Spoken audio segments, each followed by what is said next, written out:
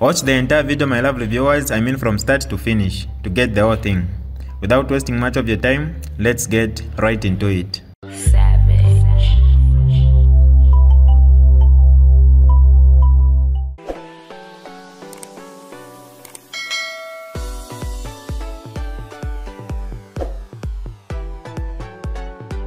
Hi lovely viewers, it's me again your one and only Mtati Mpundu. Welcome to my YouTube channel. If this is your first time on my channel, kindly subscribe to my YouTube channel by hitting the red subscribe button down below and turn the bell icon to join the notification squad. Don't forget to like, share and leave a comment. Tell me what you think about this video in the comment section below. I'll be super glad to hear from you lovely viewers. Hello, dear people of the land. Uh, I hope you are fine. I hope you're doing okay, and I hope you're in high spirits as we end the week. Just a recap. I'm not going to be long. Uh, nizibati kwafipa padino ndao ku Zambia nawira padino esta. So you all getting ready to wind down and prepare for uh, a weekend, a wonderful weekend and a safe one, hopefully. Keep it safe, keep it safe, and be safe on the roads. Uh, just a recap of the week. There are too many things that have taken place uh, this week, as is the case in most weeks on the political front. Uh, just going to mention about four things. Um, uh, number one, Vakatolika, I think realized that they made a serious public relations mistake when they tried to inject themselves in this divisive tribal politics. And uh, there was pushback from the public and uh, social media influencers, or some social media influencers, including myself. We said, look, this is not the church, the business of the church to be injecting themselves in uh, partisan, divisive, tribal politics, as is the case in Zambia. Churches should be bodies that seek healing and reconciliation. On the pulpit, they should preach redemption, they should preach salvation, they should preach healing. In terms of works, they should go out there in the hospitals and help Zambians who need help, who are sick. They should go in the prisons and uh, reach out to Zambians who are in jail, locked up, and uh, traumatized. They should go to the streets where there are a lot of street children and orphans and uh, junkies and addicts and prostitutes. Those are the type of activities that the church should be involved in. Uh, The church uh, is operating at a supernatural level and they should not inject themselves in divisive tribal politics. And we know why they're doing that. It's a symptom of a vast problem across Zambia that has been brewing over the decades, over the years, over the decades. Uh, It's all about greed. Uh, It's all about chronism. It's all about tribalism. It's all about power. It's all about lust. It's all about gluttony. It's symptomatic of a serious, widespread, deep-rooted uh, problem that has perversed our nation. And we need to find a way of dealing with this in the years ahead. Because right now they have pulled back they realize they were wrong but still underneath the surface there is a serious problem with the church body in Zambia. And we can't function as a nation like this. Some serious soul searching is needed within the church itself but within the citizenry so we expect to see them kind of pull back and be silent. It's a shame that the opposition uh, still wants to drag this into the politics, into the political field, into the political dirt, uh, because they see this as a way of. Uh, uh, getting sympathy from the Catholic Church and uh, them distancing away from the ruling party. It's not helpful. You know, let the church be non-partisan. Let the church be bipartisan. Let the church work with everybody, uh, ruling, opposition, civil society, everybody, towards the redemption, salvation, and healing of the Zambian people and of the Zambian nation. Don't get into politics because of your greed, because of your chronism, because of your tribalism. That is wrong. That is not what the church was meant to do. That is not what the church is meant to do. That's number one. Number two, I would like to talk about the next five to ten years, the next two to ten years being the perfect window for uh, tribal and regional reconciliation in Zambia. Uh, it is up to leaders in the political front and in civil society, social media influencers, and public personalities, all influential personalities, bodies, institutions, organizations, and businesses to work towards tribal and regional harmony. The country remains seriously divided uh, between two regions, and I think that is unhealthy. tribalism remains a very uh, serious problem underneath the surface. Um, it's a tribal nation. It's it's a tribal nation. Uh, we are very good at covering it up, uh, but there are instances when it rears its ugly head, and. Um, this is not uh, a situation or a mentality or orientation uh, that we must ignore. It is one that we must continually confront, address, find solutions how we can uh, resolve these problems.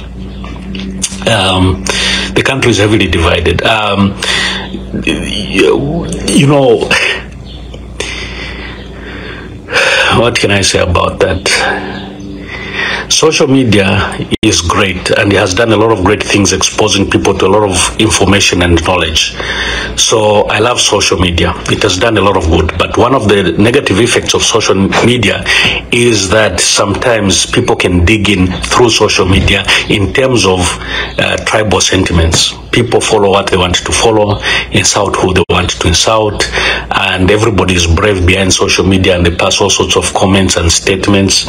Those of you who have known me for a long time and have followed me for a long time know that I've always uh, pointed out that I am in the middle. I am objective, or I try to be objective, uh, non-partisan, uh, not interested in tribe. I have absolutely no interest in who's, what tribe someone is, uh, and so being in the middle has created a very good, uh, unique opportunity for me to give proper assessments.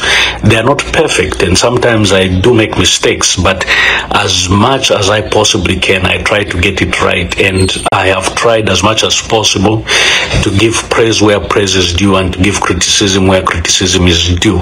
And I've tried as much as possible to call a spade a spade. But I, from the time this page started in 2016, have tried to be neutral. And I was neutral. Now, here's what happened.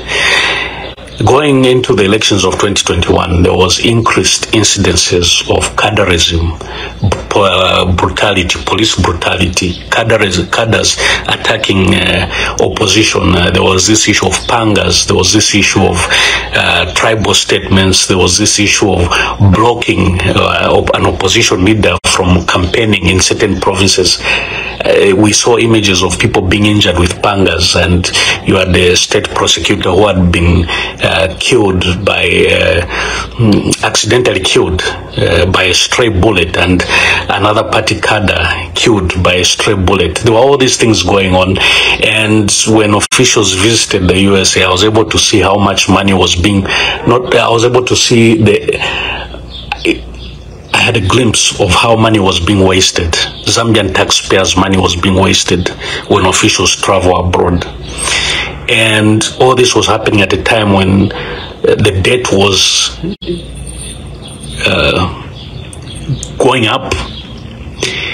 And the atmosphere made me drift away from being in the middle and decisively telling Zambians that we need change we need a change of government.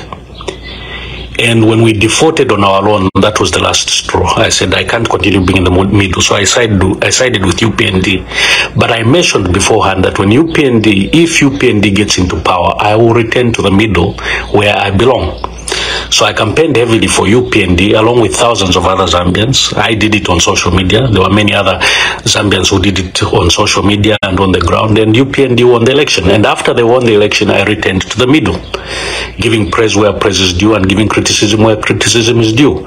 When I went back to the middle, I was shocked at the insults it attracted from UPND cadres and praise singers.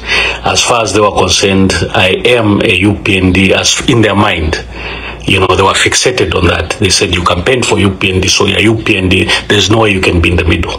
When I insisted that I am in the middle, and I will offer checks and balances and give praise where praise is due and criticism where criticism is due. The insults that came my way from UPND supporters was just unbelievable. The stories they made up, the fake news that they brought up, the things that they tried to do to destroy my reputation were just unbelievable. And I was shocked.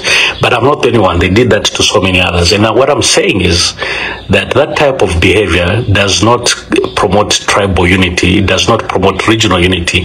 It opens a lot of wounds. Now, someone like me who doesn't care, I've got my own ideology, my own agenda of uniting Zambia, it's fine.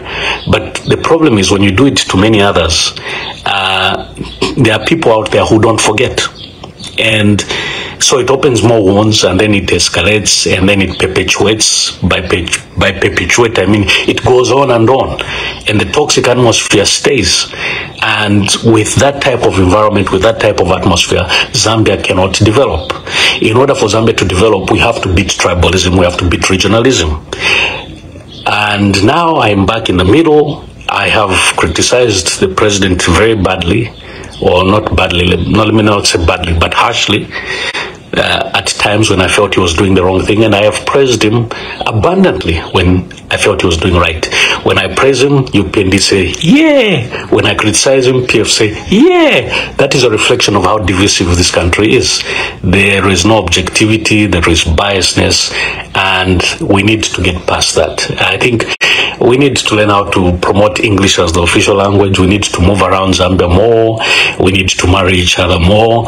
Anything that helps diminish, undermine, contain tribalism will be a welcome move for the nation of Zambia. So that is something we must continually promote within the next two to five years. This will be an ongoing uh, thing that will we'll have to continue working at for many years and many generations. But I see the next two to ten years as the perfect window for us to uh, create more tribal and regional harmony in Zambia and eliminate this tribal thing as much as we possibly can and rally behind uh, issues that add meaning to our lives uh, and rally behind our war on poverty.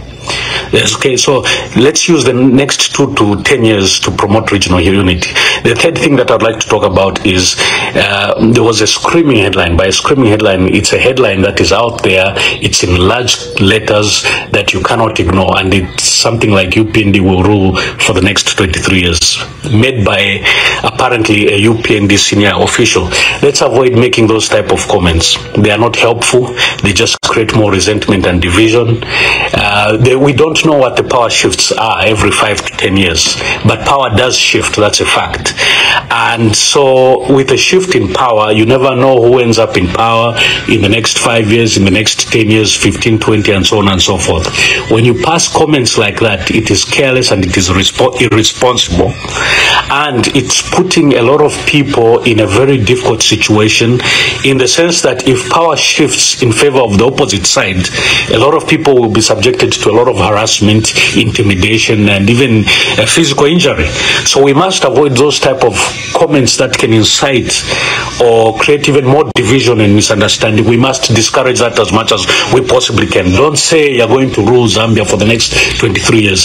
Say with the people's blessings or with the people's goodwill, you intend to lead Zambia for the next 10, 20, 30 years. It can even be 40, 100 years. Say we intend to lead with the humble uh, goodwill or uh, uh, faith of the Zambian people. As long as they continue blessing us, as long as they continue having confidence in us, we intend to lead. Put it that way. Don't say you are going to rule. You, you are even saying it in a commanding uh, term or a commanding uh, uh, uh, attitude that you're going to rule. Don't, say that. Say you're going to lead. We're going to do a good job so that Zambians can continue blessing us for the next 20 years. Talk like that. Talk with humility. Uh, be intelligent in how you pass these comments. Don't say you're going to rule over people. Don't say that. You are making my work of uh, whatever little role I can play in promoting tribal and regional unity. Me and many others who are trying to do that. You're making our work difficult. Don't say things that will incite or deepen the wounds. There are already enough wounds to go by on both sides. We must support the fight against corruption, and corrupt that fight in itself opens up wounds. But it's a legitimate fight. It's a just fight that must be fought. All corrupt elements must be brought to book. But aside from that, there are certain statements that just should not be made uh, anyhow.